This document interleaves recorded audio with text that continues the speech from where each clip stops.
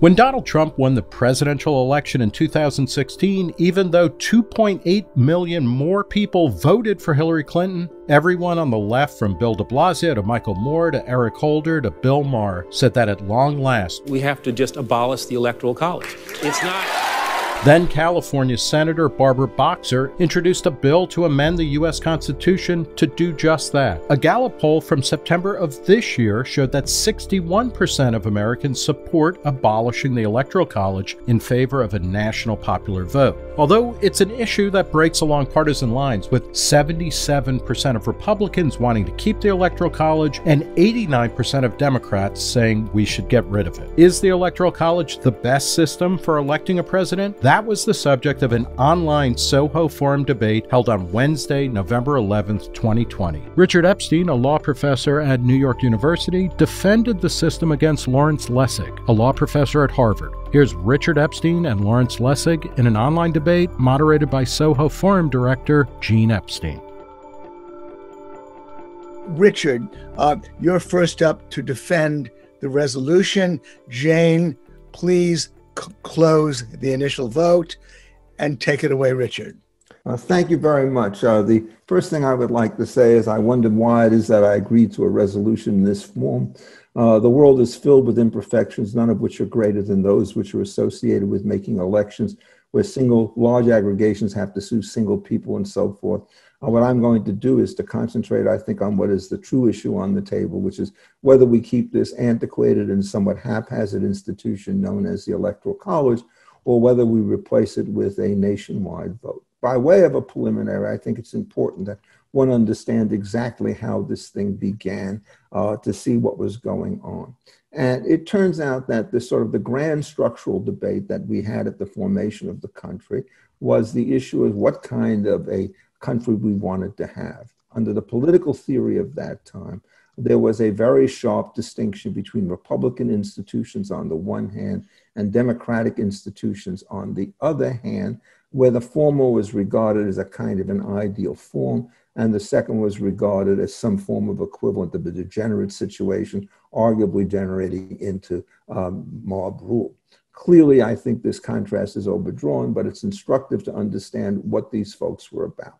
Um, the great question that they had to face was how you put together a polity in which all the individuals or all the states would come together and surrender some of their liberties uh, to the central government and retain whatever property and liberty that they had. And the thought was that a simple democratic set of institutions that operated by a popular vote was subject to the following fatal defect, which was that a simple majority would be able to confiscate uh, the wealth of a minority, either outright or by a series of devilish devices which compromise their wealth and their liberty. And so, what they tried to do is to figure out how they stopped it. The interesting feature was that the Bill of Rights was not part of this original debate. And most of the efforts to try and get these kinds of constraints in place were depending upon various kinds of voting and procedural mechanisms. And so it turns out you did not have direct elections of the senators. At least at that time, they were selected by the legislature. And the theory was that the state legislatures, the states being real entities in the early system, would in effect be able to choose their members of the Senate, the upper house in the Congress, so as to expect effective fate on them. But this particular situation um, created senators of uneven proportion so that the small states would have greater representation relative to population than did the larger state. And that too was done by design. Uh, the theory of this particular situation was uh, that if you allow just the large states to win time after time after time, it will create a disenfranchised sense on the part of those parties who have lower population. And so, as in many kind of voluntary organizations, what you did is you tried to give some kind of a weak entrenchment mechanism that would help those people who were left in the uh, inferior position. And the Senate, two per state, as part of the Connecticut Compromise, was one of those things. And in addition to that, of course, uh, the compromise carries over because if you look at the provision in uh, Article 2 of the conversation, what it says is uh, that you're going to have uh, each state appoint in such manner as the legislature thereof may direct a number of electors equal to the whole number of senators and representatives. So the Senate uh, preference for the small state is built into the system. Originally, it seems very clear that the Electoral College was in some form a kind of a deliberative body One way we know that is a sub provision said that if you're a senator or if you're a representative or some other high officer, you're not allowed to become an elector. And the only reason you would want those prohibitions is you thought that these people would have undue influence in the way in which the system was worked. Uh, but by the time we got to the 12th Amendment, after the horrendous debacle that took place in 1800 and the uh, choice of uh, Jefferson over Adams at that time, uh, people decided they wanted to do a different thing. Uh, in the case called Chiafalo, Larry wrote a very admirable brief in which he described at great length why it was that the uh, messages that were developed at that particular time intended to create some kind of a deliberate ballot, ballot uh, deliberative body. You're talking about voting, you're talking about balloting, you're talking about people to come together for meetings, you exclude certain folks. I think it was clearly correct. Uh, but it was never followed. There's a second line of American constitutionalism, which says that long and established practices uh, can override specific kinds of provisions of the Constitution uh, in what I like to call the prescriptive Constitution, and that this risk is, in fact, a very large one uh, that we face, and we do it all the time. We have such things as Article 1 courts. We decide that corporations are citizens. We make all sorts of fictions, and if they last long enough, they become law. And that's exactly what happened here. Uh, so the key decision for these purposes came in 1952, and it's a case called Ray against Blair. And you see the two contrasting attitudes that are developed with respect to the way in which you look at these uh, electors. Uh, the majority said the practice has great weight in the way in which you think about these things, and we see no reason why we would deviate from the practice. And they didn't spend much time talking about the text. And the dissent of Justice Jackson, elegantly written, went exactly the opposite way. And it says anything which is introduced by practice can be only enforced by practice. But if there's a delegate who doesn't want to be bound, uh, then given the way in which the 12th Amendment is organized, uh, he or she should be free to deviate from that. And when we got to the Chiafalo case, uh, Larry did the argument in which he claimed that that form of deviation should carry over, and it was rejected. I think it's fair to say that the uh, originalist arguments of Justice Kagan did not persuade me, and I don't think they persuaded anybody else. But in the end, she basically went to the prescriptive constitution saying it's not the role of the Supreme Court to upset all of these kinds of arrangements by going back to an original situation which has been systematically departed from for over 200 years. Well, we're having this particular debate, and it takes a very different form. Uh, because now what's happening is we're writing on a blank slate. And what we have to do is to sort of ask the question if we're not encumbered by history, uh, do we want to have the kind of major transformation that is talked about, whereby what we put into place is some kind of a popular vote rather than the current system we have, which overweights some states and creates various kinds of firewalls between one state and another. And it turns out I'm actually in favor of keeping the current system, not because I believe that it's uh, perfect, it's not, uh, but because I think that the original Republican impulse on these issues is extremely important to understand, which is we are very much uneasy about the way in which we start to deal with majority rule, uh, given the risk of confiscation. The Bill of Rights, in part, was designed to overcome or to offset that sort of situation.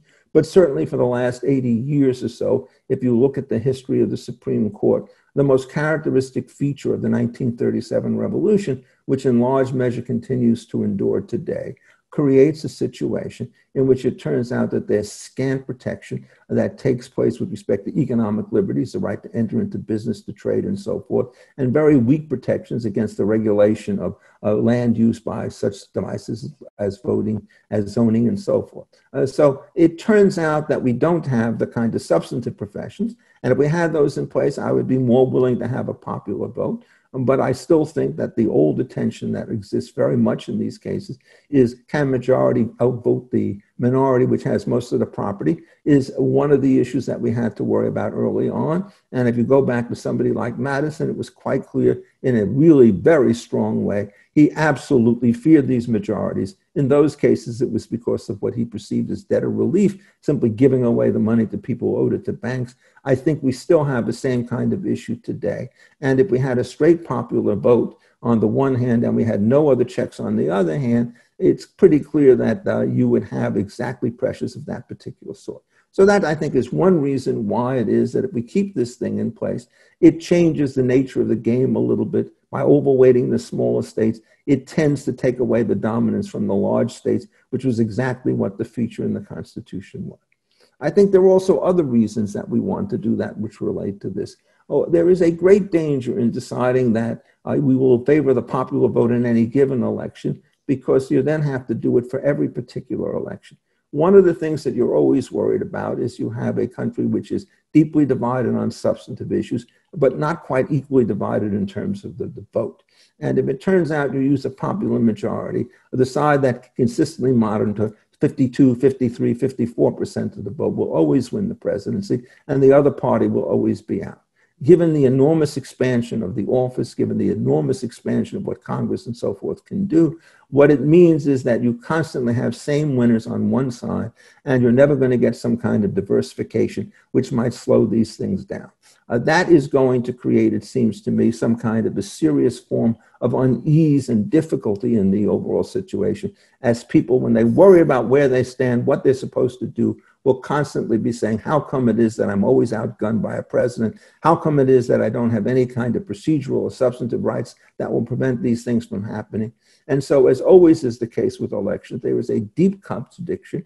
Uh, it turns out the things that turn out to be very attractive, say like proportionate representation, for putting people into electoral office, uh, can create a situation where once they're in electoral office, it creates a kind of political instability.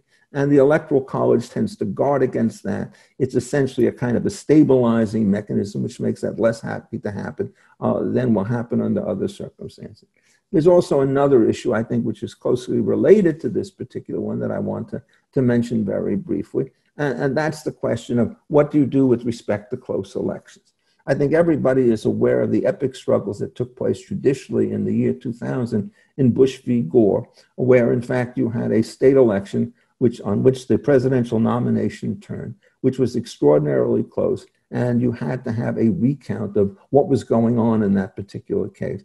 And all of us became experts in half removed chads to figure out whether or not this vote or that vote did not account. It turned out this thing went through multiple iterations in the courts, and eventually it was ended in the Supreme Court in December of uh, 2000 uh, by a, uh, shall we say, I think it was a 5 4, 6 3, 5 4 vote uh, on one hand. So you get that kind of stuff. And if it come out the other way, of course, it's a huge situation. When you start doing with a nationwide situation, you don't have firewall. And what this means, if it turns out that you have a very clear vote in California, uh, uh, you don't care to commit fraud one way or another because if you already have a 2 million vote majority. You don't care about getting it to 3 million. You don't care if it goes down to one. So the, there are a lot of wasted votes. The advantage of this situation being there's a lot more institutional stability. And so if you have two states very large in the opposite directions, it turns out they're both clear, they're off the table. And then what happens is everybody concentrates their electoral power in the swing states, where again you have these possibilities of issues. Now, the way in which campaigning will run if you get rid of the Electoral College is Democrats will never leave California, New York, Chicago, and so forth. Their entire strategy will be to maximize the turnout that they could get from their strongholds. Republicans will do the same thing with respect to the counties and small towns where they turn out to dominate. And so, what will happen is you'll see a very powerful kind of polarization. That polarization will have, I think, really uneasy consequences for the way in which the result comes out because there's going to be little override. And heaven forbid there should be some kind of an electoral dispute.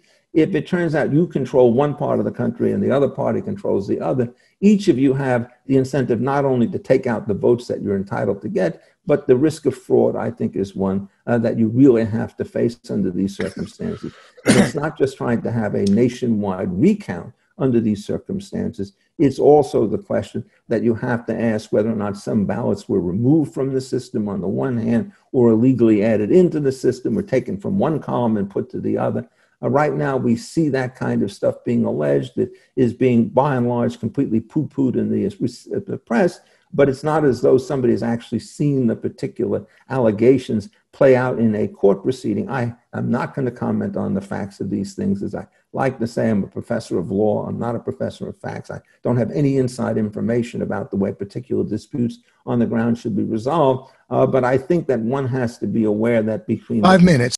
Okay, the, the, one has to be aware, given the way in which this overall system starts to operate, uh, that looking at the uh, fraud kind of issue is something that is really extremely important in the way in which one wants to put this kind of a country together.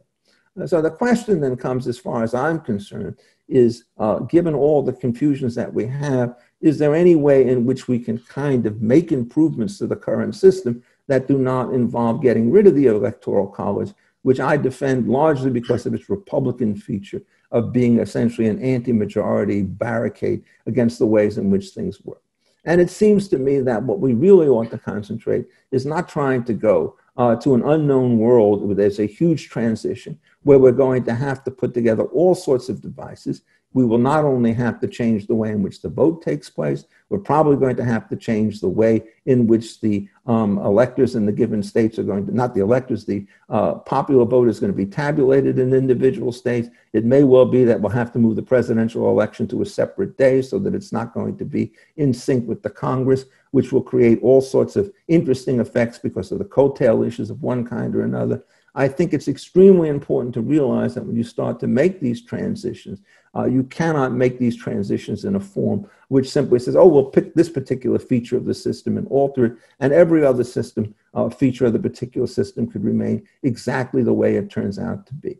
And in my view, when you start to deal with elections, I take a key from what I regard as the way in which private elections turn out to be run. Proxy elections, I think, are in many cases the best illustration of the way in which this particular situation happened.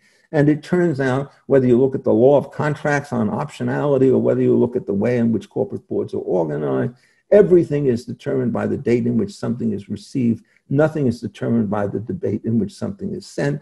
Uh, you tell people there's a hard deadline, and then they make their adjustments as they see fit. And if it turns out there's a systematic difficulty like COVID, you can change the rules of eligibility before the election day. And it seems to me that that's exactly the right thing uh, because the uncertainty that comes with delayed votes in a close election or that comes with essentially contested ballots, which are going to be hard at the police if it turns out that they come in later, are an extremely important issue uh, that will arise in some of these particular cases. So, as I said to finish up on all of this stuff, um, I think if you start to make these kinds of reforms on the way in which the balloting is going to be done, what you will do is you will see a situation in which there will, in general, be some kind of a correlation between the popular vote on the one hand and the electoral vote uh, without trying to change the system. Although I think in uh, years to come, that is less likely to be the case than it is now, uh, given the huge polarization that has taken place with the change in the electoral composition. It is much less white now 2% per election, much greater diversity, and so forth. My first plea on all of this stuff would be to try to keep the current system. My second plea is a counterintuitive one. And what I say is if you really want to make kinds of changes, uh, the best way to control the problem here is to narrow the scope of what a Congress can do, narrow the scope of what it is that a president can do. Uh, because it turns out if you have a more limited government, uh, then the pressures that are going to be put on every imperfect electoral system are going to be smaller uh, than they would under the other circumstances. So I think I may have a few seconds left, but I don't think there's any particular reason to take them. Uh, so what I will do is I will be a man of uncommon virtue. And I will end now and watch Larry take forward because I'm pretty sure what his position is going to be. A popular democracy over everything else is the supreme value. Whereas the position that I have taken is said, if you take into account transitions, that turns out to be something which is very difficult to do. One minute. If you take into account the fact that the transitions are difficult, that customary practices have worked well, uh, that there are real confiscation risks and so forth, then I think what you will do is you'll come to the conclusion uh, that we're better off keeping the status quo than moving to a world of which we know not. Thank you. Thank you, Richard. And uh, now, uh, Larry Lessig uh, speaking uh, for the negative, opposing the revolution, 17 and a half minutes. Uh, take it away, uh, Larry Lessig. So I'm not supposed. I don't know that I'm supposed to talk against the revolution. I like talking for revolutions um, oh, because Richard told me that's what I should do. Uh, but um, because I was speaking with Richard, I wanted to take very seriously my obligation under the charge of this debate, which was to frame these comments in light of the charge of this debate. And the debate is asking the question whether the Electoral College is the best means of electing a president compared to any other that might be devised. The best means compared to any other that might be devised.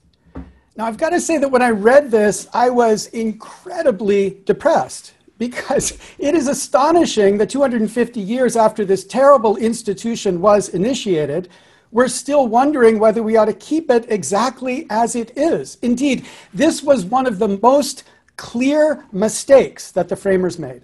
And they knew they made a mistake. And they talked about the fact that they'd made a mistake, and they just could never muster the support in the 240 years since to override the mistakes and to fix it in a way that makes sense. Um, so let's just start with the mistakes to make sure we're clear about them. And we're going to move here from the obvious to the fundamental. So here's the most obvious one. If there's no majority in the Electoral College, nobody gets 270, um, then it goes into the House of Representatives to decide who gets to be president. In the House of Representatives, every state gets one vote. One state, one vote. So that means that Texas, which has a population of 29 million, has exactly the same uh, power as Vermont, which has a population of 625,000. And I think even a Texan can see what's wrong in equating 29 million with 625,000. That's number one. Number two, electors. So electors are humans. And the question that's always been asked about electors is should they vote freely? And Richard referred to and was quite generous about uh, the account that we made in the Supreme Court about the electors and whether they had the right to vote freely.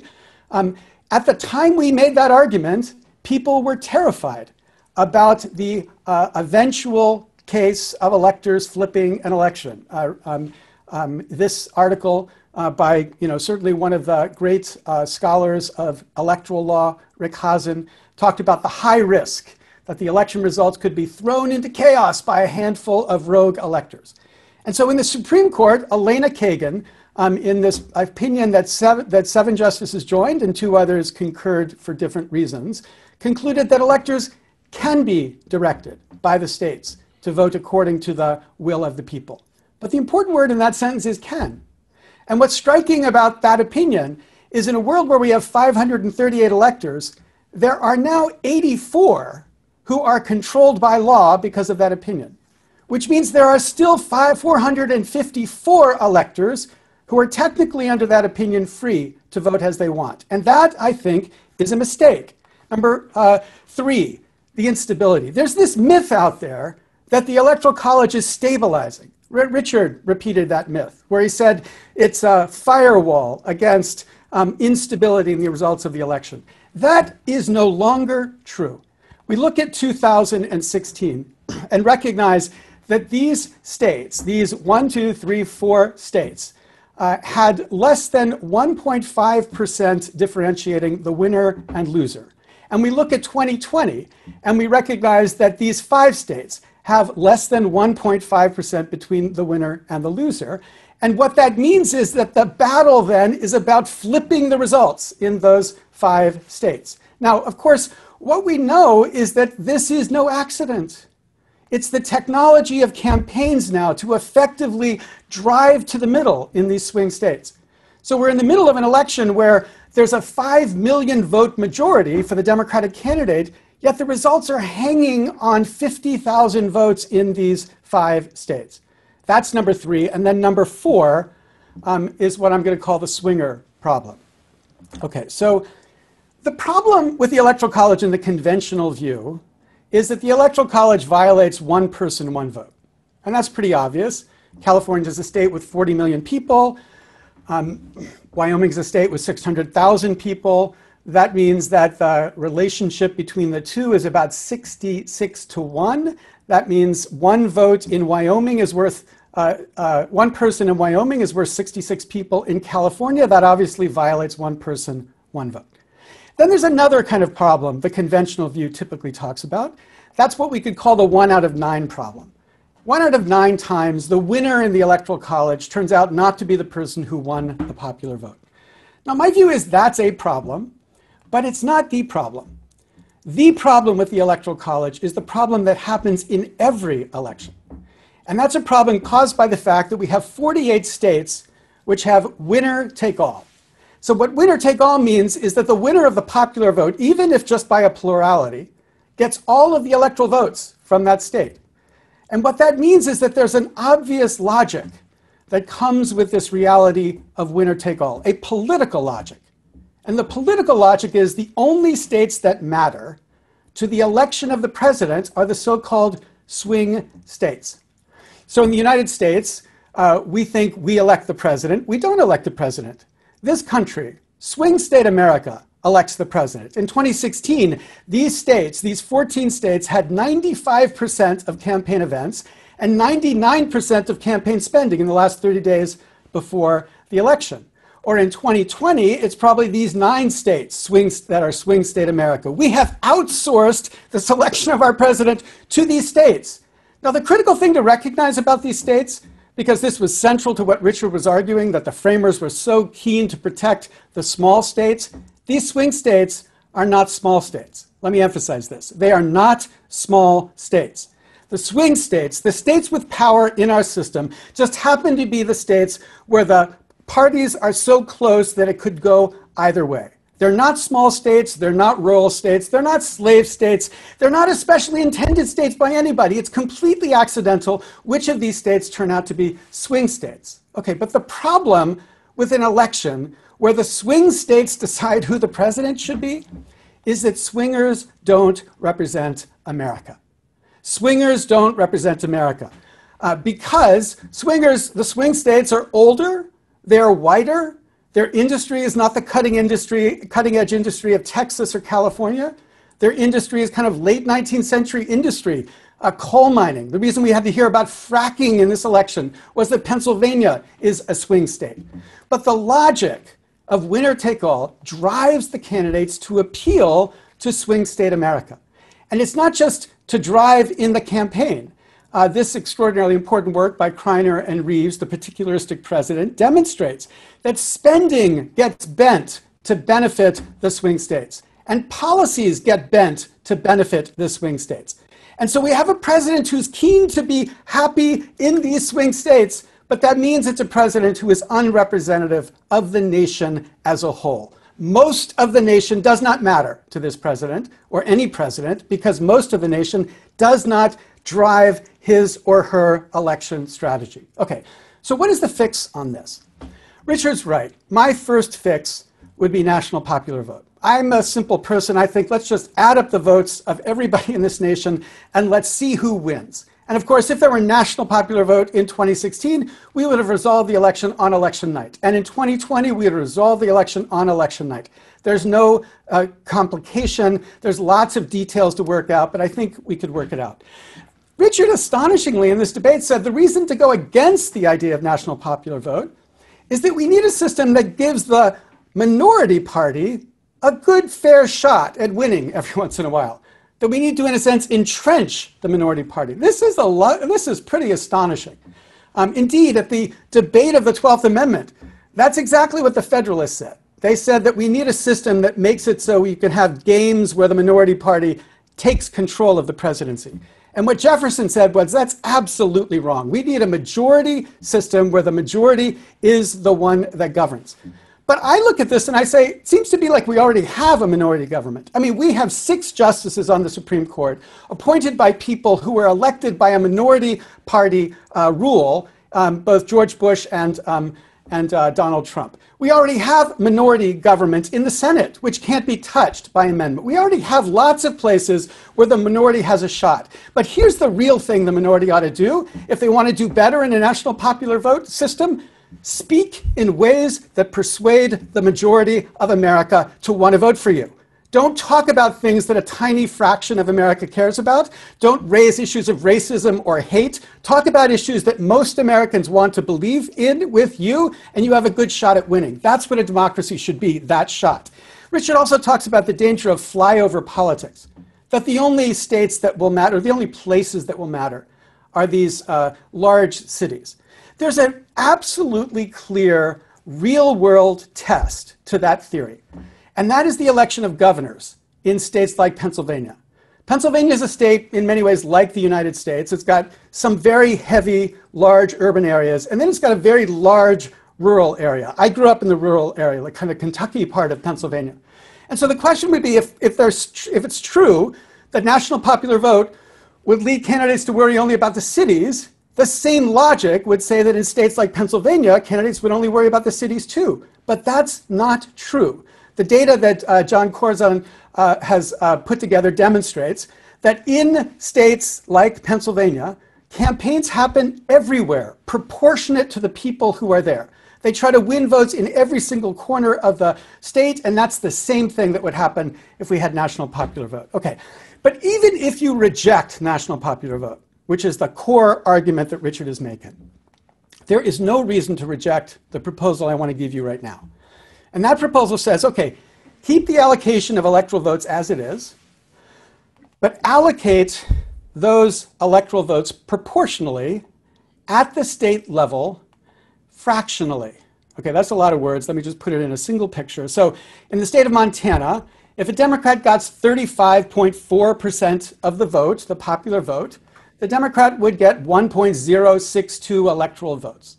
So, what that does is every means that every place you compete, you have a chance to get an electoral vote. And what that means is that every state is in play. The president is eager to get votes from Kentucky or from Pennsylvania or from uh, California or from New York. Every state is in play because every state vote would count. And the president would care about votes from everywhere. Every vote could matter almost equally. The thing about that solution is that it still embraces what Richard thinks is important that small states keep a certain advantage. It's not one person, one vote.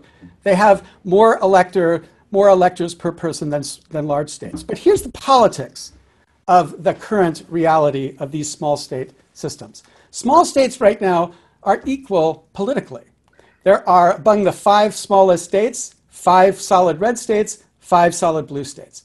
So you could have this system to allocate electors proportionally keeping a benefit to the small states, but not benefit one party because of that, keeping a federalist structure, keeping the opportunity for innovation at the federal level. Okay, so so here are the reforms that I think are kind of obvious reforms. Five minutes, five minutes. Thank you, that we could summarize. Number one, if you want to assure equal voice nationally, where all of us as citizens of the United States have an equal voice in electing our president. The only way to do that is national popular vote. The National Popular Vote Compact would be one way to get there, but a direct amendment would get there as well. One person, one vote. That's a value I think we can celebrate.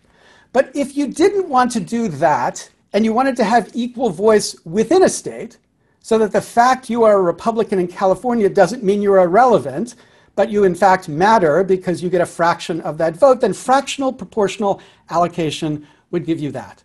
And so when we look at this system and ask, is the current system the best means of electing a president? It isn't. Either of these reforms would be significantly better. And as my daughter would say in response to an argument I often make, she would say, Obvi, that's true. Obvi, that's true. We can make improvements without radically destabilizing the way Richard fears we might. Thank you. Thank you, uh, Larry Lessig. Five minutes of rebuttal from Richard. Take it away, Richard. Uh, there are many things that Larry says under these circumstances that I agree with. The question is, how do they exist within the given kind of framework and why? Let me mention a couple of things first. One is I would not put under these circumstances too much weight on what the popular vote is now because that's endogenous with respect to the system. Uh, back in 2016, Hillary Clinton thought she was going to win the key states. She wanted to get what she thought to be a public legitimacy, so she went out to California in order to run up the popular vote. Uh, the Trump party was much more disciplined, and so what they did is they went for the few votes in the places that mattered. It's quite clear that the popular vote would not be the same if it turned out that you changed the particular incentives. They would be really quite different. Uh, so it's not at all clear who would have won these particular elections uh, whether or not these things are the same or whether or not they would have reversed. And so it, it's kind of hard to say exactly what the consequences are going to be.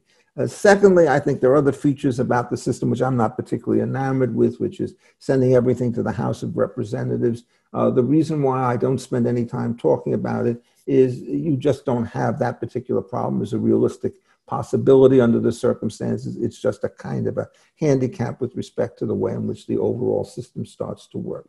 Uh, so there are two things. The, the, third thing, of course, is that where are people going to vote? And, and here I think Larry is a bit optimistic. He says they'll go wherever votes there are. That's not the way in which I think you want to put the question. The correct question you have to go is where are you going to get the greatest return for the investment that you start to have? And, and it may well be that you're going to go to some small places, uh, but I think overwhelmingly what will happen is that people will go to large concentration population centers where they can mass the votes relatively easily compared to everybody else. Now, is there going to be a countervailing force to this? I think there is, but I think it's one that we have to take into account no matter which way we think about it. In the current situation, uh, it turns out you mobilize turnout not only because you have a presidential election, but because you have local elections, House representatives, and all the rest of these things. And it's very, very clear that uh, uh, when you start to vote, uh, people in these states will really kind of matter. And they're also going to matter with respect to the president. So uh, the president may target his electoral efforts to particular states. But if you're trying to fashion a majority that's going to carry the House of Representatives, winning key states in the Senate, it turns out that the centripetal force under those circumstances is pretty substantial. And what you will see is other campaigns that will take place to which enormous sums of money will be devoted, which will start to reflect the way in which many of these kinds of issues develop. And, and, I think, therefore, that what happens is that the outcome that you're going to get with the firewalls that you'll be able to put into place are essentially, I think, uh, pretty good. Now, uh, the other point about this is is there any flexibility within the current system about the way in which these electors should be chosen? Um, there is nothing, I think, and Larry, I hope would agree with this, which says that you have to use within the electoral college a winner take all system. It says that the only thing that it says is that the electors shall be accepted in the particular fashion that the legislature itself directs. So um, you could, in sense, vary this. Has this in fact been done? Well, the answer is yes. We have something close to what Larry suggests, which I'm in fact uh, perfectly sympathetic with. Uh, what you do is in Maine, I believe in Nebraska, you have systems where the uh, popular vote is calculated by looking at each congressional district uh, so that if you carry a congressional district and the other people carry the other congressional districts, uh, the vote turns out to be split. And there's nothing I think about the system that worries me about that. If you're worried about a fraud risk, it's not going to happen there because you've got these small units which are relatively easy to to deal with. Uh, it's not going to result in any kind of major rebalancing of the situation where you get rid of the Republican ideal of trying to slow down the democratic process uh, because of the genuine concerns that you have uh, that popular majorities will do in property, and an issue which Larry doesn't start to address. He talks about the system is how you put it together. He doesn't quite talk about the system uh, that you get once you pick the electorals, but you can do that. So, I mean, a lot of what he says, I think, are perfectly consistent with I'm saying. Would I want to use proportionate representation down to the fractional situation? Well, uh, there's a textual argument that you have to do it rounded off to the nearest voter or something of that, which I don't think is a particular situation. And so there is nothing, I think, which prevents that from being adapted under these circumstances to fit this particular bill, uh, because I would turn Larry's argument, I think, against him, saying if in fact you adopt his one second, minute, one minute, yeah, if you adopt his second proposal, um, it's perfectly consistent with the current constitutional structure, and it doesn't involve any of the kinds of serious difficulties associated with a national popular vote. I'm still extremely concerned about what I regard as a traditional problem uh, which is if you do have large popular majorities, uh, the kind of legislation you're likely to get are going to be very different. And so the point that I would want to leave you on this thing is I regard uh, an electoral process as a kind of a dual structure.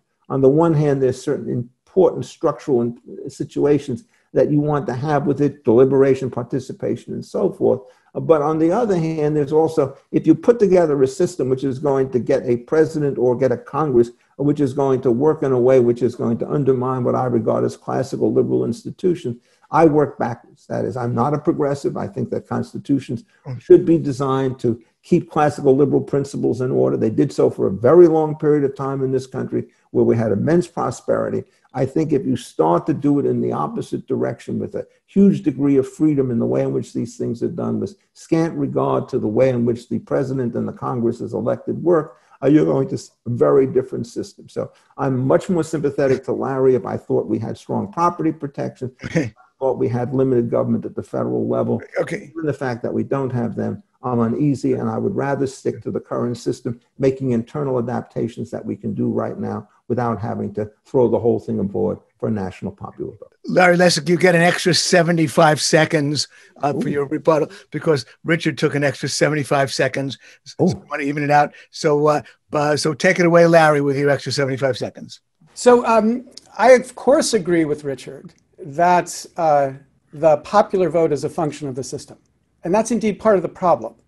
Swing states are the only states that have high turnout given our current system. The non-swing states, the spectator states, have a sub- substantial, substantially suppressed turnout. And that's because people are not stupid. They realize they don't matter.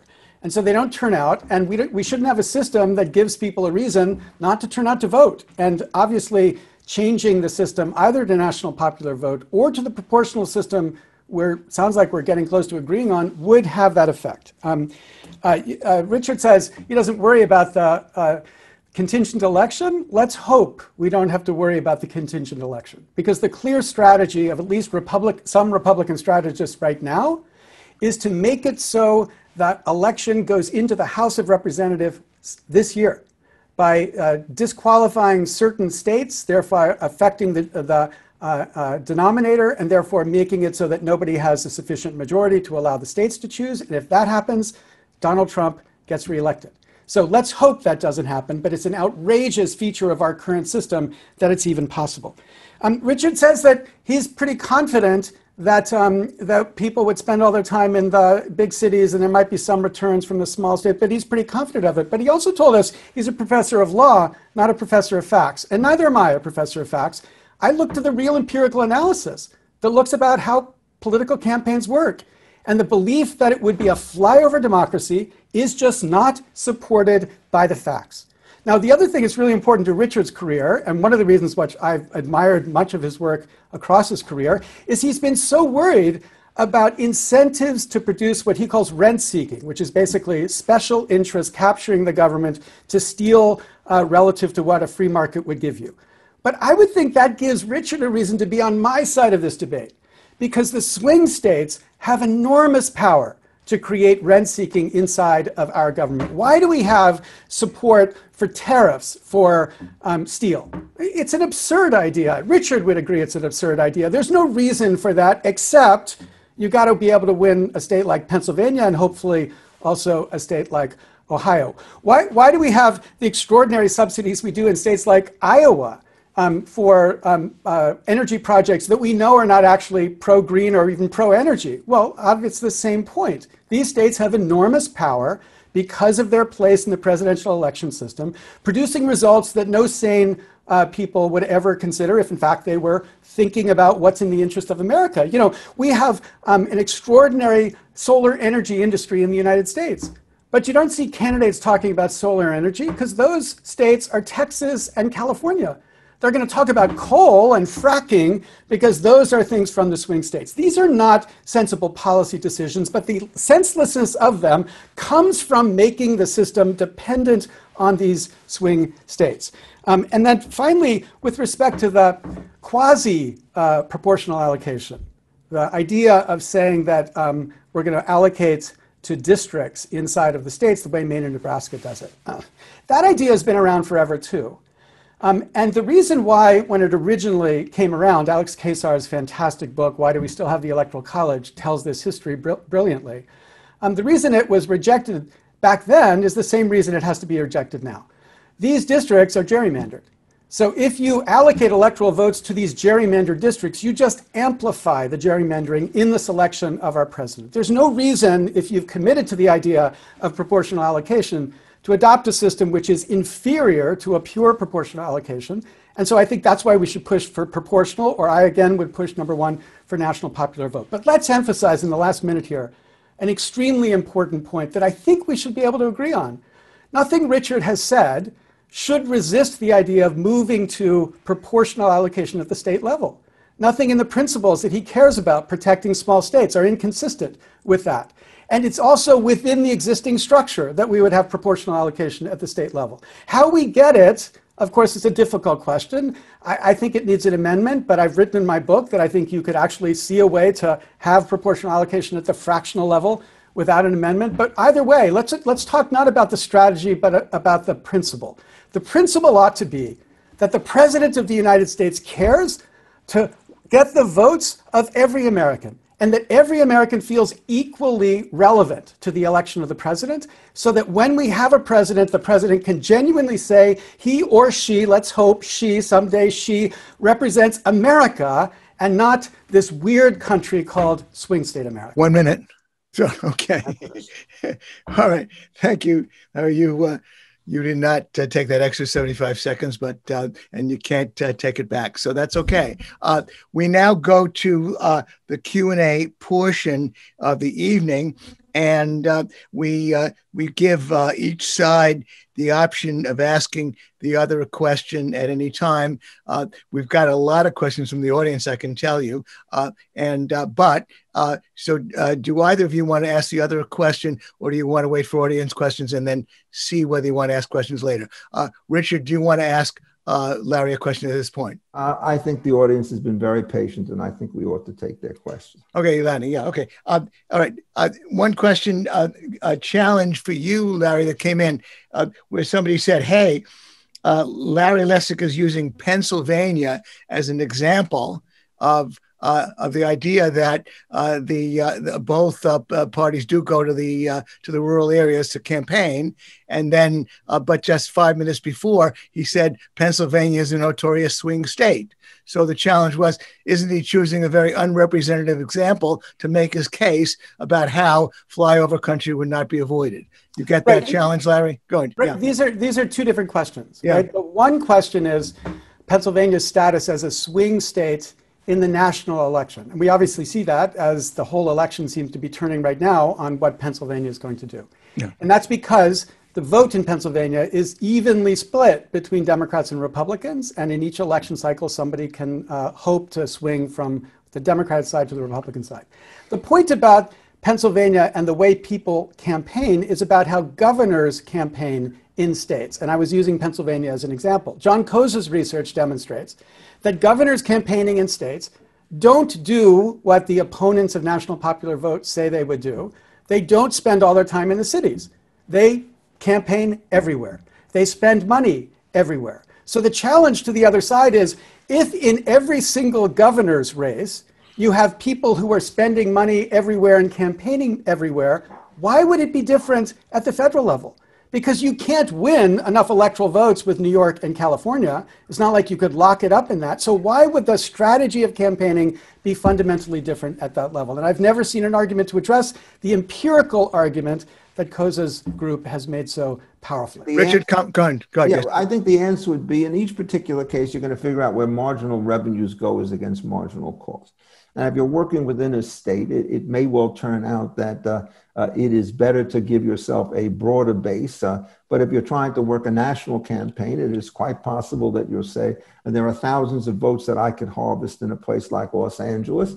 Um, I don't have to worry about the votes that I can't get in Sacramento, whereas governor, I would do so. And so I see no reason to believe that if you're playing on a national canvas, that you will follow the same strategies that you will follow uh, with respect to a local canvas because it turns out that your first choice may be to go to Philadelphia, but your second choice is not to go to Scranton. Now it's going to be to go to Atlanta. And so I can't believe that you're going to see exactly the same situation. Uh, my view about it is these askers will be rational. It will happen or it won't happen, but I see no reason to believe that there will be that. I think the other thing, of course, that's important in these situations, it's a mistake simply to think about these as being centralized campaigns a lot of the decentralization is going to come because of the interaction between a president at the top of the value and local things.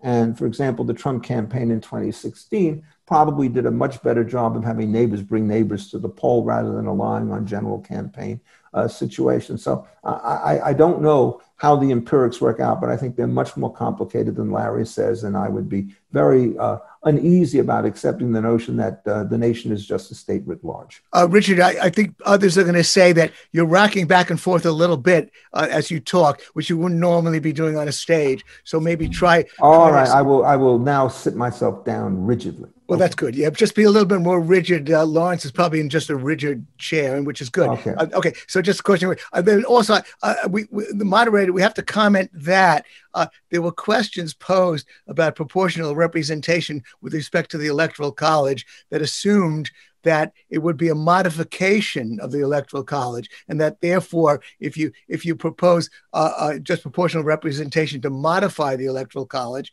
that that means that you still retain the electoral college. And that but then gather from larry lessig's standpoint uh, a proportional representation in, the electoral college defeats the resolution. And so we have a, a problem there. Maybe uh, so one or the other of you want to address that semantic issue or if you want to waive it i'm going to have to leave it to audience judgment as to whether they want to say that because Larry had two ideas popular vote or proportional representation. Yeah, look, I, I, mean, the position that I would take is either the district situation, which does run into problems with malapportionment, although I don't think they're nearly as fatal in this context, is fundamentally different from a national popular vote because it keeps all the firewalls in place. And it also keeps the relative advantage that small states have over large states, which I think are stabilizing. Larry thinks not. Um, I think though all of those changes could be made within the current framework. Uh, that's why it was I was very uneasy about the way in which the question was formulated. So it may well be that we'll have a hung jury. Okay, okay, but you were party to the way that was worded, Richard. I have to say. But I know that. I, I plead guilty to this charge. Okay, but but but still, you know, that's uh, that's a problem. I'll have to live with. The, the, Rich, the question, Richard, is to what extent could you clarify? To what extent do you want to endorse proportional representation. You're saying that you'll go halfway with Larry on that? Is that what your position is? No, I think the way in which if you look at the Constitution, let's say what it says. Each state shall appoint in such manner as the legislation may direct the number of electors, right? There's nothing which basically says it has to be an all or nothing system. And so I think what you can do is you can have flexibility within it. Um, am I wildly in favor of the proportionate representation stuff? I'm certainly not against it uh, because it preserves the central features that I'm much more worried about. Um, and I think, in fact, Larry is correct to assume that there will be uh, more fighting in each particular state. Uh, than there will be, so that the expenditures will be spent more equitably across the United States. Because now it turns out a Republican can gain in California uh, by switching it, uh, this, that, and the other thing. So I'm not against all of that stuff. So, uh, so, so New York State goes when goes forty percent Trump. Republican, then then forty percent of the electors should vote for Trump. Well, if the legislature so directs, that is, I think Larry agrees with this. If you look at the constitutional text, it's underdetermined, and that winner take all is not a prerequisite. It's been a customary feature, but I think it's one that could be changed. I do agree with that, Larry, or not? As this no, debate I do. now. I, obviously, I think it could be changed. The challenge is you can't get one state or any big state to change it on its own, right? Because um, California is not going to change it unless it knows Texas is going to change That's it. right. So you've got a coordination problem, which is why either, you know, we, we've tried to suggest, uh, as many had before, that it almost ra- it raises an equal protection problem. That I go to vote, you know, if I'm a Republican and I vote in Massachusetts, my vote is collected for the person, purpose of being thrown away. That, that could present an equal protection claim, and then maybe under the equal protection clause, you say everybody should do it. But the point is, I don't think we should worry about the specifics. The question is what the principles are. And, and the principle I think we should be able to agree on is that there's no reason to have a system that systematically disables or disqualifies the relevance of the majority of Americans, which is what swing state democracy does. You've not defended swing state democracy. I don't. You've, swing, you've defended small states. But what I'm saying is small states don't matter in the system. It's the swing state. So we should we agree that we should not have swing state democracy. Um, well, but the point, no, I, the, the, disagreement, or if it is a disagreement, I tend to think Uh, the small states in aggregate, if you put them together, are more representative of the larger pies than otherwise. But I don't think it by any means it's a, a perfect type of situation. It's also quite clear that the swing states will shift from election to election. I mean, at this particular point, uh, Pennsylvania has become a swing state. Uh, Colorado is less of a swing state than it had been. Ohio seems to be a more red state than it was before. Uh, Arizona has become a swing state. So it's not as though it's a constant situation. I think the really difficult point that you mentioned is that unilateral surrender by a majority party in its own state will never take place. California will not agree to this unless Texas agrees to it. And there's no mechanism that we have for centralized control um, unless you pass. But let me put it this way if we were to try to pass a constitutional amendment that preserved the Electoral College and essentially try to do that nationally, uh, that might be a way out of it. But I think it's perfectly clear uh, that uh, if you see a stable situation like this for 200 years, uh, there's a first move mover fatal disadvantage that nobody is going to be the first party to do it because the others will not. I think that's absolutely right. Um, I'm much more worried about the things that I'm worried about, which is, and I, which Larry, I don't think really cares as much as I do. I'm worried about the confiscation risk that comes from, from excessive popularism. And that's a problem. I'm also, by the way, and I think Larry would agree with this, a lot of the imbalance that you see um, in terms of expenditures and appropriations are not due to the presidential election, it's due to the senatorial system um, which you're not going to be able to undo in this particular country. And places like Iowa, uh, the pork belly situation there is because they have the first primaries, which gives them an inordinate influence, and that you could change without having to change anything else. Okay, uh, picking up on uh, your mentioning of the Senate, there were, and, and of course, Larry mentioned uh, the uh, the imbalance with respect to the Senate and the House. Uh, the question, I guess, for you, Larry, is uh, aren't you at least in principle equally opposed to uh, the two senators per state situation. Uh, you know, two senators representing a state with population smaller than uh, Manhattan versus uh, uh, California and all that. Are, are, you opposed, at least in principle, to that for the same reason? Uh, of course, the Congress is also distorted. are you opposed to that for the same reason? Yeah, of course. I mean, yeah. we have a Senate which doesn't produce, is not a representative body. And uh, though the conception of representation at the founding made representing the states fundamental, that's just not the current conception of representation that I think we should embrace. We should be representing people equally. And the Senate doesn't do that. And um, now, you know, I'm not going to waste my time fighting the Senate if Article 5 says they must, Article 5 in our Constitution says there's no way to amend the inequality, the equality in the Senate. Okay, we have to figure out a way to make a democracy with that imperfection inside of it. So the simplest way to fix that is to start thinking about the other unrepresentative bodies in our system. So the gerrymandered House of Representatives, that's something we could fix. Congress could fix that tomorrow. Um, and the Electoral College and the electoral college is something we could address, and the corrupting influence of money in politics, and the inability of people to have an equal freedom to vote. These are all ways we can make democracy more representative. But the one I thought we were focusing on, yeah, and I agree, I hadn't seen the ambiguity in the in the in the in the charge. Um, by the electoral college here, I'm understanding the system we have right now, and it's not the best system. There's lots of changes to it we should be making. I think we're agreed about the contingent election. We might even agree about the need to end a swing state democracy. Um, and the only question then is why we don't go the next step to national popular vote. And Richard waves his hands about what he believes would happen if we had an election where we had a national election and everybody would go to the edge. I first of all say, show me the numbers, because the data goes the other way. Um, his, he's confident in his own judgment about the data, though he's not a professor of facts, he's told us. But show me the numbers, number one. But number two, show me the principle. Show me the principle that says why a person living in Kentucky should have less relevance as a voter than a person living in Pennsylvania. Show me the principle. I think, are all I think, American I think, citizens. I think Larry Lessig has has has uh, uh, uh, acted on the prerogative of asking you a question, Professor I'm, Epstein. So I'm trying to answer it. I mean, I the situation that we're worried about is I'm worried less about equal representation in this election. I'm more worried about the composition when you start to get into the bubble political body and uh, the basically the republicanism instinct which gave you uh, fixed votes in the senate uh, which today is much less relevant because we don't think of ourselves as citizens of states in the way in which it was done.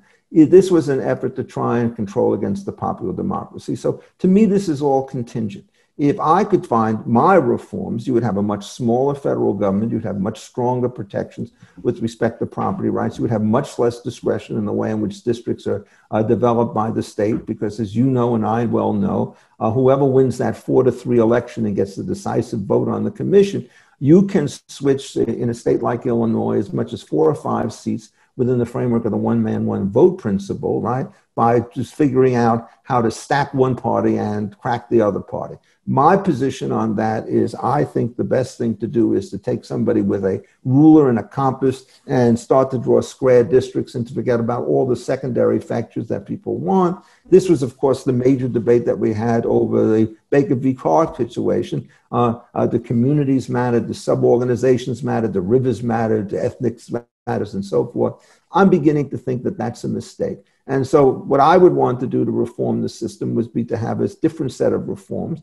And if, in fact, what you did is you had stronger protections with respect to property rights, contractual freedoms, and so forth, I'm much less worried about the way in which the electoral system can work because it's not going to have the huge confiscatory risk. But you know, when I look at the way in which a place like California works in terms of itself and its own policy, I'm frightened to death at the thought that its influence will become any larger than it is because of the policies that it would import. And I see nothing whatsoever in the federal constitution at this point stops them from going in the way that they've done, notwithstanding what I think is empirically the case that the state is in a kind of a real serious rate of decline because of multiple policies, all of which are deeply misguided. Yeah. Um, what's striking about that is I said, What is the principle? And the answer was, My policies wouldn't get enacted in law.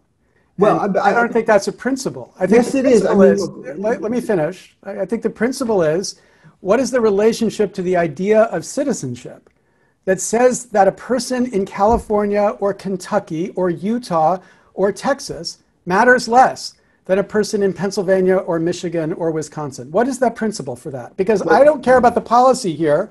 I care about the constitutional principle, the moral principle of equal citizenship. No, I care, Luke, as I told you, I care about both. I care about the citizenship participation issue and so forth, but I also care about the, the kind of society that you're going to generate. And if I thought a popular democracy was going to have serious uh, substantive problems. It's not the original Constitution. There was a debate. The famous line of Oliver Wendell Holmes, which I reject, is that the Constitution does not pick between a government which talks about the organic relationship of the individual and the state and principles of laissez-faire. Laissez-faire is an oversimplification, uh, but when I wrote this book called The Classical Liberal Constitution, uh, to me the emphasis was on the back end. So I'm willing to give up on some degree of equal citizenship if I think in the end it will give you stronger substantive norms. Uh, that I think is the difference between us. You are much more agnostic on what it is that people do in government. Uh, to me, the property contract uh, constellation has developed a contract at common law and then carried over the preservation of that is, I think, of paramount value, not for the citizens of one state. It's as important for the citizens of California as it is for the citizens of Kentucky. And I think that the popular democracies start to put those things into peril. Uh, that's a fear that was put at the force of the founding. They put mechanisms in place, some of which have been eroded, some not. Uh, but I still think that fear is there. And I think that the national popular vote will exacerbate. Yeah, that, that brings up uh, some questions that have come in for you, Larry, where uh, I guess phrased this way. Uh, is there any point at which you might share Richard's concern in the sense that uh, is there any point at which the potential for the abuses of a government that is elected by a popular majority is going to so abuse individual rights that you yourself would get alarmed and you would say that uh, that the tyranny of the majority is indeed troubling? This question just seems to me completely, I'm going to use the word Scalia got upset about, orthogonal to the debate we're supposed to have tonight. Of course, I'm worried about the tyranny of the majority. I'm also worried about the tyranny of the minority, which is what we have right now. We have a minority government, and we have a, a minority um, government in the Supreme Court. So I'm worried about both tyrannies. But the election of the president is not what's producing um, it, it, the changing of the way we elect the president would not produce that tyranny because it's the current system that is producing the dynamic that I think Richard and I agree is actually destructive. The current system that has swing state democracies calling the shots, swing states calling the shots, is a system that creates an enormous possibility for some states to have extraordinary power relative to the others. I mean, look at the debate that's happening right now about the Electoral College. There are Republicans who are saying that state legislatures have the power to ignore the vote of the people in their state and to pick another slate of electors. And that slate of electors, given the extremely poorly crafted way that electoral votes get counted in Congress, could, depending on what Mike Pence does, actually matter over the vote of the people in the state. That is the system that is the current system that is the charge. No, no, Larry, I, I disagree with that emphatically. Which is I regard I regard those proposals as completely renegade and so forth. But Excellent. I Excellent. I want to go back to what I thought is that it, it, but I think, and at this point, I think you're now a believer in Ray V. Blair along with me. If we've run this system as we've done it, and at no point ever in the entire history of the United States has a Republican legislature ever thought to override a Democratic majority when it comes to these things, that that becomes under the prescriptive Constitution completely, totally, and utterly unacceptable, and so forth. So, I mean, I, in my book on the classical liberal Constitution, stress the prescriptive Constitution.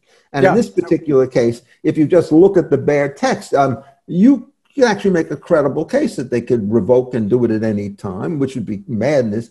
Um, if you're following the settled practice, then you can't do that. And so, so, Richard, Richard, let me let me just emphasize something. This is an extremely important point of agreement that we have, and it's good. important for the nation right now to recognize that people of fundamentally different views agree on this, and it's for exactly the reason you say. Elena Kagan, in her opinion in Chiafalo, said. Mm-hmm it might have been originally that electors had uh, discretion, but democracy has overtaken it. And democracy now says electors have to vote the way the people have voted. The same uh, point applies to legislatures. I so disagree. I, with, I disagree with one word. Okay. It's not democracy. I think it's constitutional practice. I'm happy with that. Good, because I and I am a passionate believer in that. One of the things I do with originalists is I go through the things that you'd have to overturn if originalism was correct. Marbury and Madison is clearly wrong. Martin against Hunter's lessee is wrong. You don't have judicial superiority. You don't have federal review over state legislation, which is upset constitutionally. That would lie with state judges. You don't get diversity jurisdiction over corporations. You don't get Article One courts. The list just goes on. And, and to me, the fundamental principle of American constitutionalism is that these prescriptive rights become every bit as powerful as the original ones, and even more so in some sense. The original one was a kind of a deliberative guess by a bunch of guys who made mistake after mistakes. We agree on that, right? They did not know their left hand from their right hand, and nobody could have done better, right? Uh, but prescription essentially gives you constant reiteration and reinforcement. And it's the same kind of thing that you think about custom as a standard of care in tort law, malpractice, and so forth. So that's the position I'm on. When the Republicans take this other thing, you just want to scream at them uh, yes, because what they're doing now is they're going back to this kind of crazy originalism. Um, every originalist argument that Justice Kagan made, I don't have to persuade you of this, was wrong, right? Uh, uh, could you, uh, moment, uh, Larry, uh, you guys have mentioned this case a number of times. I didn't realize how important it is. You, we have this point of disagreement. Could you elaborate a little bit more for the ignorant uh, people in the audience, including me, exactly how you and, and, and Richard agree? What principle uh, specifically, without mentioning cases and other legalities. Where do you agree? Articulate. So what, what we agree on specifically yeah. is that a state legislature has no power under the prescriptive constitution uh, that Richard's describing, which is a way of saying the constitution we have right now. A state legislature has no power to appoint a slate of electors inconsistent or contradictory to the slate of electors appointed by the people in the election. So we had an election on November 3rd. Okay. We're trying to count those votes, but there are people talking about, Mark Levin did a big tweet in all caps that said, the state legislatures have the power to appoint a new slate of electors and they can ignore what the people did. And that slate of electors can be uh, affirmed by, certified by the governor, and then that's what counts in the electoral college. We're agreeing, in fact, they have no such power. Okay. Oh. election decided who the electors are once we figure it counts and recounts, and that should be to decide who the president would be. Well, that's quite clear. Thank you very much. Uh, another question for uh, Professor Epstein. When you gave the example of uh, a situation in which one party is going to keep winning, uh, be, if you had a popular vote, uh, the questioner writes, you seem to assume that parties' policy positions are fixed forever. If one party finds itself disadvantaged, as you see it, by the other party being favored by 53% of the voters, is it not likely that the minority party will adjust its position to reflect public opinion more effectively? Um, I think the answer is yes and no. There is no question that votes do shift between elections, but one of the things that's so tragic about the current American system is we have a very strong appeal to identity politics based upon a whole variety of situations race, ethnicity, uh, sex law, and so forth. And I think that those coalitions are much more rigid than they would be. I think one of the reasons why I think Larry would agree with this, the current situation is so fraught with risk, is that the center has collapsed. Um, there's a strong right, there's a strong left, uh, but if you were to ask me 25 years ago, what was the sort of consensus of this country, I would have said it was probably the Clinton S center. Center Democrats probably could prevail. I don't think there are any more center Democrats left anymore. And so the problem that you have with this is if you have a bell shaped curve, people in the middle can move on one side of the line or not. But if you have a line in the middle and you have two dumbbells on either end, the likelihood of getting people to cross is going to be much lower. A question came in. Uh, Larry, do you want to comment on that uh, answer by Richard? Waive it. Yeah. Question came in. Uh, uh with respect to the uh, ambiguity in the wording that I mentioned, a questioner is asking uh, this of you, Professor Lessig. are you willing to die on the hill of the popular vote? Are you willing to clarify the debate and say that if you want to vote for your side, then popular vote wins because the questioner had the impression that perhaps the proportionality thing was just throwing Richard a bone. Uh, where do you stand on that? Are you willing to die on that hill? Well, I mean, I'm going to fight like hell for popular vote, no doubt. And I think that's the right answer. Morally, politically, that's what we should be fighting for. I see. But, but what I what I want to acknowledge, um, and I and I and I believe this is consistent with saying that the current system is not the best system. What I want to acknowledge is that there's a very important change to the current system that more than three fourths of the states should agree on because those swing states are less than 25% of the nation. They're maybe nine, maybe 10, maybe 14, but the point is they're not 25% of the nation. And so a supermajority, three fourths of the nation, should agree that we should at least give up this ridiculous system where the only people who matter are swing states. So I, I'm, I think it's important to think about what we could politically agree on and then ask what is the principle that that is evincing. And the only difference that Richard and I now have on that principle is the extent to which you want to put the thumb on the scale of voters from smaller states. My pragmatic response to that is doesn't really matter much if their partisan differences are negligible, but uh, but it does matter, from my view, supporting national popular vote, from a one person, one vote perspective. It's an important idea that we say to every citizen, you all matter equally. Yeah. So I want to have that fight, but I want to be realistic about what a constitutional amendment would need. And I just fear if we need a constitutional amendment here, it's going to be harder for national popular vote. Now, let's put a very important pin on a point that we haven't discussed. The National Popular Vote Compact, which um, survived in Colorado, got a referendum in support of it in Colorado, um, would be a way of achieving effectively a national popular vote without amending the Constitution. Um, and so that project is going to have a lot of push behind it after this election because many people are frustrated with the Constitution, uh, with the Electoral College as it is. And, and so that might be a way of achieving it without an amendment, but I'm just talking about identifying a principle we should agree on. I'm not throwing a bone to Richard. My view about this is if you're worried about the ultimate distribution, if you have five overwrought left blue states, five overrepresented red states, the political power is not going to be switched much if you keep to the current system because they kind of cancel themselves out. Um, I think the more dangerous situation is what's going to happen in the Senate, where you can do nothing about it because the alignments that you have, blue and red, count for much less on senatorial politics than they do on presidential politics, and, and you can't go. Um, so this is all a second best battle, and I think, as I said at the very first remark I made, is there is no ideal translation from individual choices to collective preferences. Uh, Larry has basically stated, I think, quite honestly, the correct trade-off um, his best choice has a lower probability of success than his second best choice. He would, I think, go for the second best choice and give the first choice up if he could get my support. or the support of people like me. And my attitude is I'm quite happy to give that kind of support because all the guardrails that I think are important uh, about the way in which you don't have electoral majorities running riot over a system, which I do fear and may well happen if we went to a popular vote. We have no experience with it. They're going to be guarded. So if he can basically not throw me a bone, agree to his current compromise, then we have basically broken the model because we don't know whether we're debating or agreeing.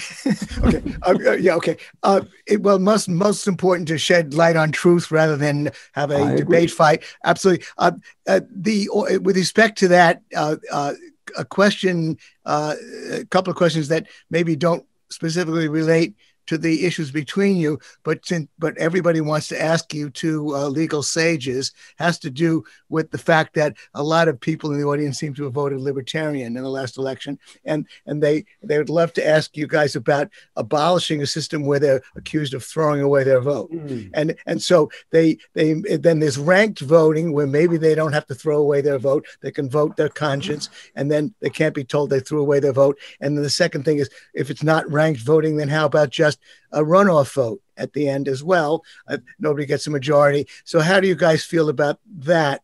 Uh, those two reforms, so that people who vote Libertarian don't have to be told they threw away their vote, or indeed people who vote Green. Uh, you want you want to answer that one first, Richard? Yeah, I mean, my view about this: uh, the moment you agree with ranked voting, uh, what you're saying in effect is, I vote first Libertarian, he's out, then it's my second choice will be, say, Republican. It's there. Um, uh, this is a, a superficial band aid. Um, what it does, it allows them to feel happier than they would otherwise do, but they know it's going to be a Republican vote. So if I were a Republican, I would be passionately in favor of that system. Uh, because if you actually look at the margin, some of the states, small as the libertarian vote was, it was enough to make a difference. If I were a Democrat, I would simply refuse to do so because I don't think there's a consistent left wing party which has the durable 1% to 2% influence that the libertarian uh, party has. The fear of systems like that is when you start getting three or four candidates, and this may introduce that. Uh, the way in which you tabulate the votes is going to be much more difficult. And so you do have an administrative problem that you have to worry about. Larry's compact is a very ingenious idea. What he says is the legislature commits to a ballot group which says that we will essentially give our vote in one of two ways either to the person who's ahead generally or in proportion to what we see in the national election everywhere else and it has the same problem that Larry otherwise mentioned. It's an imperfect rule because if there's undervoting in California and overvoting somewhere else, you may not get it. Uh, but it's going to be something I think that you have to consider. And given the broad text of the Constitution, and given the fact that it's not an obvious effort to bait and switch, as is the Republican proposal here, I don't think that there's anything about this proposal that I can see at this particular point which would make it unconstitutional. I do think Larry is right to say if you get only one state to go along with this, it's not clear that you're going to be able to get the second one to join them, given all the dynamics that you get from the correlations. If every state agreed to follow everybody else's vote, God knows how this thing would play out. Do you so, want to comment another question about ranked voting, uh, or, or, or indeed a runoff vote uh, rule as well? Where of course they do have runoff having a runoff vote in Georgia, for example. Yeah, two. Yeah, votes. I know. Yeah, exactly right. Yeah, so I strongly, strongly, strongly support the idea of ranked choice voting. Um, ranked voting? oh, yeah. Ranked choice voting. Oh, yeah. Um, um, I mean, if you look at the three states we're arguing about right now, um, Texas and, um, I am sorry, uh, Arizona and Georgia uh, and uh, Pennsylvania, um, the uh, Libertarian candidate, she got within the margin in all three states. Now, I don't know, I'm not supporting it because I think it necessarily helps Democrats or helps Republicans. I think it helps both. So, you know, in 2000, when 96,000 Floridians voted for Ralph Nader, they certainly, if they had had a chance, would have voted for Al Gore in a huge proportion as number two, and Al Gore would have easily won that state in 2000. So, what about the libertarian vote? Yeah, that's right. But even including the Buchanan vote, you still would have seen the shift in a way that would have, the, the scenarios are, would clearly have supported um, one side or the other. But my point is, even if it, it's not clear which side it's going to support, we should not tax somebody's desire to express who they want to support, who their first choice is. And what we're seeing right now is a system that makes it very hard to express your first choice. And I think there's another really important thing about this dynamic.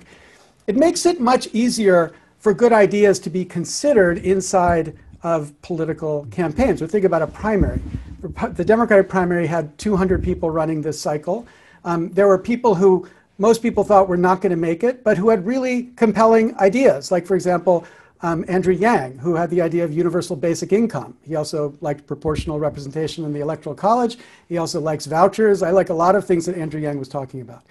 But if there were ranked choice voting, then the leading candidates would have a significant incentive to try to woo Andrew Yang's second and third uh, uh, choice vote, voters so that they would listen to the ideas of universal basic income. They would talk about it more in the mainstream of their conversations. They would treat each other with a kind of respect that would make it possible to support the candidate who happens to be not your first choice candidate. And it could, it could lead to a dynamic that makes less of the problem that I think Richard and I have identified as a fundamental problem real, which is this uh, hateful, polarizing politics. So I think this is an important reform that we should all agree on, and there's no reason not to do this right away. Larry is just one comment. Larry is a pure veil of ignorance guy under this case, yes. which is okay. the right approach uh, to take on this matter. There is one prediction that I would make, and I don't know how it would play out in practice. Is the moment you have this, you will have two uh, minority parties. You'll have a strong progressive party, and you'll have a strong libertarian party. Um, in terms of the way in which this thing starts to pay up in terms of runoff elections and so forth, um, there is one kind of interesting question. There's a time gap between the run and the runoff. And in that particular period, all sorts of preferences may well change. So you're not going to get uniform preferences as of a given date. And you have to ask yourself whether that's a good or a bad thing. I mean, just to take the, the, the Georgia thing, uh, suppose you were somebody who believed in divided government um, which is a perfectly respectable position. Uh, you see the Biden presidency and you see the Democratic House, you're going to be more likely to vote Republican on these right. two things precisely because you want to slow things down, uh, particularly on judicial appointments and maybe on other legislation. And so, I just the last observation is so much of what we're talking about with the legislation and the electoral college is the tip of a very large iceberg um, which involves other imperfect institutions and on the electoral side and really important substantive limitations federal invitations and so forth, which is why it is that we find ourselves doing this kind of kabuki advance where we agree with each other on as many things or perhaps more than we disagree with. Because I think both of us are trying to use a veil of ignorance technology, which I think is the appropriate way uh, to approach all these. Okay, uh, uh, Richard, uh, yeah, that's good. Uh, we actually went over with the Q&A, but of course, we're happy about that. You guys have given some great answers. Uh, we now go to the final summation portion of the evening, seven and a half minutes apiece. You were the affirmative. You go first, Richard. Uh, take it away. Oh my God! I, this was the part of the thing that I did not prepare for, and I'm now going to have to summarize a set of positions which are somewhat inconsistent with those that I started with at the beginning. But let me see if I, I can sort of go back to first principles. The single most difficult task that you have with respect to governance is to find a way to get all individuals into a system under a social contract theory and what the social contract theory presupposes, quite controversially, is that individuals have a set of natural endowments in both liberty on the one hand and property on others, and that there can be no voluntary transactions that get them into uh, out of the state of nature into something else. Uh, so that what you do is you have to create a kind of a social contract theory. That social contract theory has as its minimum condition for success that each individual, if you're doing it perfectly, will find themselves or himself or herself better off inside the state, uh, subject to its various obligations, including its tax obligations and its compliance obligations, than they are outside the system. Given the uh, great disagreement and confusion that you have in a state of nature, there are many different kinds of states that can satisfy that function. And the task that you have to get is to go through them seriatim to figure out which of the ones are going to turn out to be best. And, and the reason why I was so insistent upon the classical liberal constitution is that as a descriptive matter, I do not conceive of the fact uh, and would never accept the fact that you would want to put into place a democratic electoral system, which will result in state ownership of the means of production, uh, which I think in the effect means that you get popular democracies leading to Venezuela or something worse than that. Uh, so to me, what you have to do is to have a constitutional democracy. Uh, the stronger the property rights protection, the stronger the protections for competition and so forth, uh, then the greater the latitude that you can have with respect to a electoral system. The difficulty that we have today is we have enormous governments. We have a president, and I think it's worth stressing a point which neither Larry and I talked about. The amount of good or evil that a president can do through executive orders these days is extraordinarily large. It has expanded consistently, uh, so that this particular office is a kind of a satrap, uh, which has more power today, uh, given the way in which the branches align one another. Given all of these stuff, I am concerned to make sure that there are firewalls against popular majorities.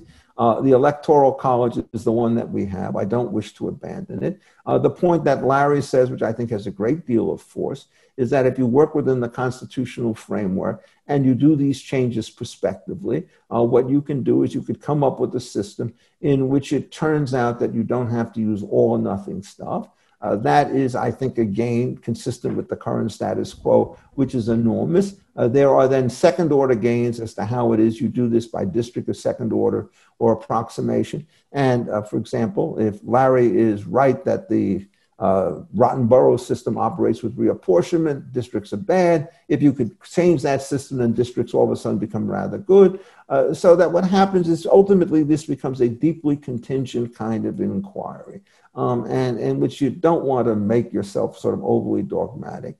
Um, to me, I think it's important, and this I think is the ultimate disagreement between Larry and I. He thinks that citizen participation has a pride of place. I think it has to share the platform uh, with the nature of the substantive democracy that you're putting into place. And I do not believe that all forms of government are equally good with all other forms of government. So I'm anxious to see that an electoral system that's put into place will depend a system in which you have sensible distribution between markets on the one hand and public governance on the other, which I think the classical liberal constitution is the best able to give you. So I don't know whether I'm for or against the resolution anymore, but that's my position. and you're done. Okay. Right. Uh, Larry, you have seven and a half minutes to summarize your position. Take it away, Larry. So um, I was incredibly fortunate as a student to have the chance to be in Richard's classes. And I think some of you can now see um, the extraordinary brilliance of this person with whom I've disagreed on so many issues, but always with respect. But here's the point. We have a nation that is desperate to believe in its systems of government again. And if we're going to believe in those systems, it has to be pitched at a level that America grasps. And right now, America looks at the Electoral College, and within our lifetime, we can see two times that a candidate who had won the popular vote substantially in the second time, not as substantially in the first, has nonetheless uh, not prevailed as president. And the argument that, well, that's a good thing because it's going to stop the majority from overwhelming the public or overwhelming uh, the public weal is not an argument anybody understands. What they understand is that the person who got more votes lost. Now, right now, we're in an election where there's a fierce contest to flip the Electoral College to mean that a person who won not just more votes, 5 million more votes than uh, the incumbent, but also won an absolute majority of the public's votes, will possibly not be given the presidency because of the games that you can play with this electoral college. It seems to me that's reason enough to say that this system's got to change. And if it's got to change, I agree with Richard. We should put on a veil of ignorance and ask what are the principles that should guide the system? And I do believe, and we, here we disagree, but I do believe the fundamental principle is citizen equality. We are all equally American citizens. And we ought to have a system that counts our votes equally. And to the extent it does count them equally, I'm confident that the other checks in our system will not turn us into Venezuela. Although there's lots that's nice about Venezuela, not the government, but there's lots in the people that's nice. So the point of thinking that we need to embed a system that could in our lifetimes three times elect a president who did not win the popular vote seems to me crazy talk. We are not at a place in America where we could survive this election flipping right now. And I think the confidence of people in democracy has been tested so severely that we need some simple principles that survive. And here's one the person who gets the most votes in the best possible way ought to be the president. And we can agree on ways to bring that about. And I understand we have a difference on national popular vote. Okay, I support national popular vote. But if we could at least agree on a system where the fact that you don't live in a swing state uh, is held against you, if we could agree on a system where all of us at least count, whether we count a little bit more because we come from a small state than a big state, but we all count, that would be enormous progress. Because the suppression of the votes in places like New York and California and Texas, because they are not swing states, affects their democracy too. So we need systems that inspire people to believe in democracy. And this electoral college does not do that, which is why you should definitely support rejecting this proposal and beginning the conversation of what we should replace this electoral college with. All right. Thank you very much for that summation, uh, Larry Lessig. The Electoral College is the best means of electing a president compared to any others that might be devised. I'm now seeing that the voting results came in, uh, and I want to read them. And uh, before I do, of course, I want to congratulate both of you on an extremely lively exchange that shed a lot of light. I have to confess, it's been one of my favorite evenings at the Soho Forum, and uh, I, I, think it's due to you both. And uh, so let's see what happened. Uh, yes vote, the yes vote on the resolution began at 32.65%. It fell a little bit by two points to 30.61%. And uh, therefore, uh, the no vote would have to lose more to lose. But the no vote actually picked up from 40.8 to 55.1. So picked up 14 percentage points. The Tootsie Roll goes to Lawrence Lessig. Congratulations, Lawrence. We're going to send you the Tootsie Roll in the mail. You'll also get your honorarium check. A great debate. Thank you very much and hope to see you all soon at the Soho Forum this coming December. Good night.